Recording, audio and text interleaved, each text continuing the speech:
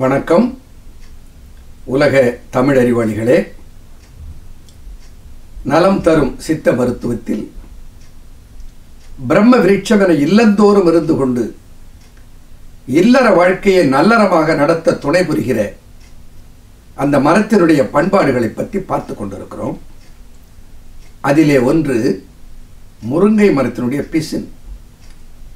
சில பிசினுக்கு ஆண்மையை பொலிவுறச் செய்கிற ஆற்றல் உண்டு. முருங்கை பிசின் கருவேலம் பிசின் வாதுமை பிசின் என்றெல்லாம் சில பிசினை சொல்லுவார்கள். இதெல்லாம் தெரிய வேண்டும் மக்களுக்கு. தெரியாதனால் எத்தனை இல்லறங்கள் அது ரத்திலே போய் ரத்தாகி போகிறது. தெரிய வேண்டும்.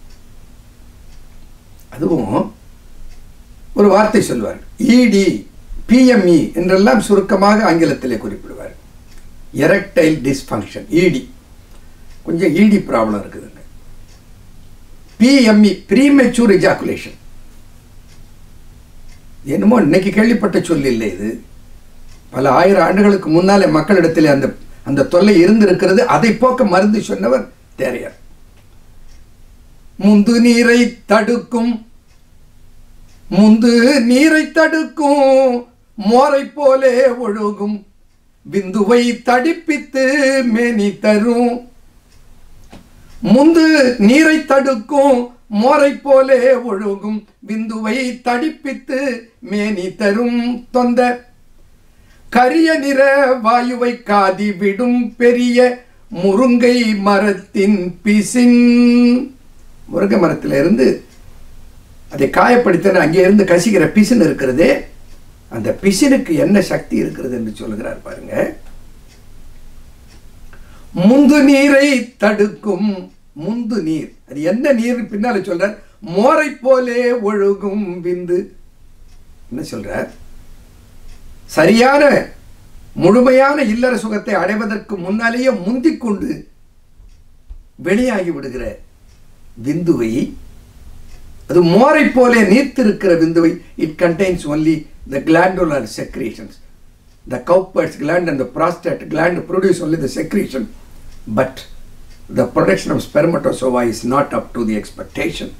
The result is the semen is more liquefied. சொல்றாரு தேரையர் முந்து நீரை தடுக்கும் மோரை போலே ஒழுகும் விந்துவை தடிப்பித்து மேனி தரும் விந்து தடிப்பிக்கிறது என்றால் செமன்ல ஸ்பெர்ம் ப்ரொடக்ஷன் அதிகமாகிறதுன்னு அர்த்தம்.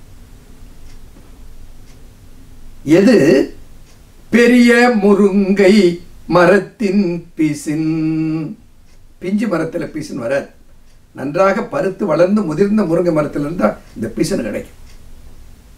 இந்த பிசனுக்கு அந்த அபான வாயுவை அகற்றி அதே நேரத்தில் ஆண்மையை பெருக்கி உடலை வளப்படுத்தி மேனி தருகிற ஒரு பொலிவை அது என்ன வயதானாலும் அவரை பார்த்தால் ஒரு பொலிவோடு இருக்க வேண்டும். காரணம் மகிழ்ச்சியாக இருக்க வேண்டும். அதை தரும் என்பதனாலே அந்த முருங்கை பிசின் அப்படி தேரையர் பாராட்டம். எப்படி கையாளுவது? முருங்கை பிசின் கெட்டியாக இருக்கும். நன்றாக உலர்த்தி விட்டால் இடித்து அதை பவுடராக சூரணமாக செய்து கொள்ளலாம்.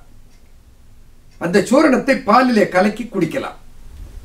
ஒரு நாளைக்கு ஒரு தேக்க ரெண்டு அளவு சாப்பிடலாம் நன்றாக இருக்கும். ருசியும் நன்றாக இருக்கும் அதனுடைய பலனும் நன்றாக இருக்கும். நான் ஒன்று சொல்கிறேன் கேட்டுக்கோங்க.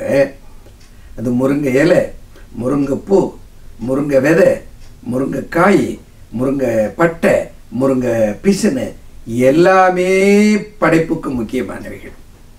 எல்லாமே ஆண்மையை மேலோங்க செய்கிற தன்மை உடையவை. ஆனால் அதை அவ சொன்னானே அரச மரத்தை சுத்திட்டு அடி வைத்த தொட்டு பார்த்தாளாம். அரச மரம் குழந்தை இல்லாதவர்கள் போய் வேண்டிக் கொண்டு விநாயகனை சுற்றி வருவார்கள்.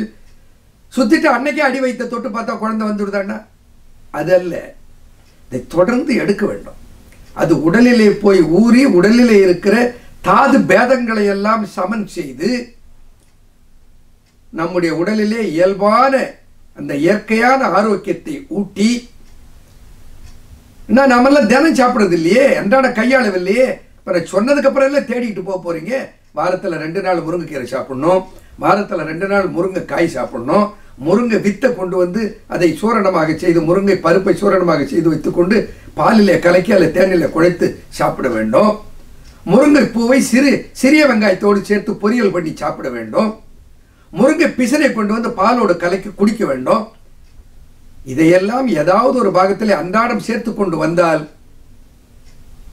அது நிஜமாக நித்தமுற பிந்துவை உண்டாக்கும் மனமே அறி